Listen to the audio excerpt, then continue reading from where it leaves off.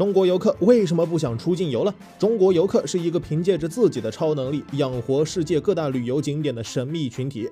如果要说中国游客到底有多么受欢迎，从那些接机的规格和场面上就已经能够看出来了。像泰国的副总理协同其他部长一起在机场迎接中国游客的到来，马尔代夫的机场特意准备了水门礼，菲律宾政府特意在机场安排了当地特色的民乐表演，不仅在刚开始的时候啊就表现出了十足的诚意，并且在很多细节上也是下足了功夫。像泰国在自家的三蹦子上特意为中国游客张贴了高启强的身影。新加坡为了中国游客，特意推出了消费满减的活动。以上的这些措施就像是孔雀开屏一样，就是为了吸引中国游客的到来。由此可见，我国游客在世界范围内究竟有多么受欢迎。不过呢，随着近两年我国国内旅游热潮的兴起，很多游客并不是像以往那样选择出国游，而是将目光对准了我国的大好河山。这也让很多外媒很纳闷。为什么之前那么多出手阔绰的中国游客，现如今都不来了呢？从出国游热潮再到国内游的热潮，究竟是哪些因素才促成了这样的转变呢？如果要说什么因素导致国人开始不出国游了，那么三年的口罩时期一定起到了不小的影响。众所周知，在那三年的时间里，很多线下的实体店都关闭了。国内经济在经历过那三年之后，也是呈现出低迷的发展。正是由于这三年的时间，让很多人的消费习惯发生了转变，由之前大手大脚的消费，开始变得精打细算，追求性价比高的出行游玩方式。在这种消费心理的转变之下，出国游自然变成了一件性价比不高的事情了。中国出境游人数锐减，究竟是哪些因素促成了这样的转变？不给外国人送钱是好事吗？除了消费心理的转变之外，国内消费热潮的兴起还有一个原因，那就是国内的旅游宣传开始发力。这不宣传不知道，一宣传把国内的游客都给吓一跳。原来咱们国家是全世界唯一集齐世界五类地形的国家，什么高原、山地、平原、丘陵，咱们应有尽有。有些美景不仅只能出国才能看到，在国内也能看到，而且性价比更高。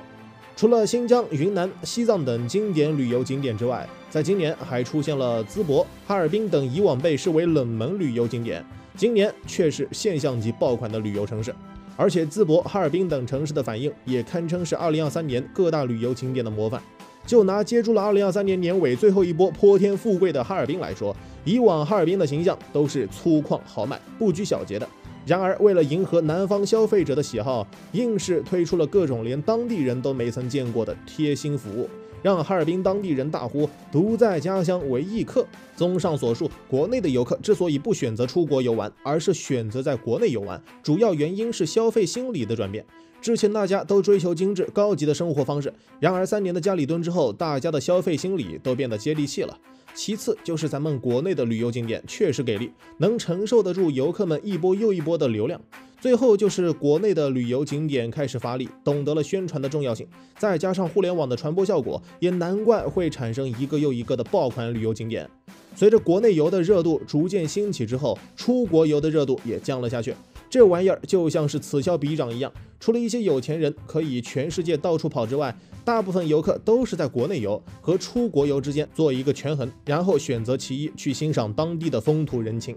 那么咱们不去给外国人送钱的这种现象，究竟是不是一件好事儿呢？这里呀就需要进行分情况讨论了。对于促进国内旅游消费的角度来说，确实是一件好事儿。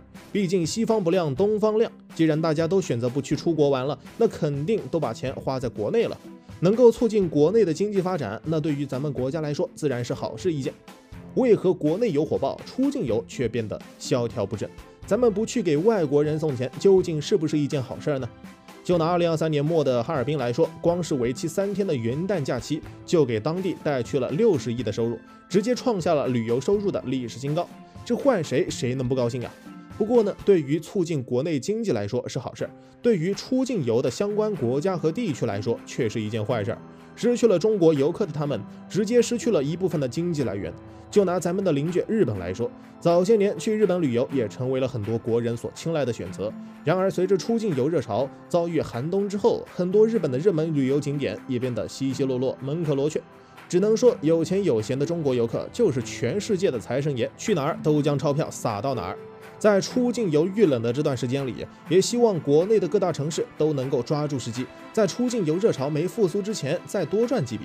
虽然说今年的中国游客没出国到处跑，但是这也并不表明这些旅游力量全部都被我国给消费了。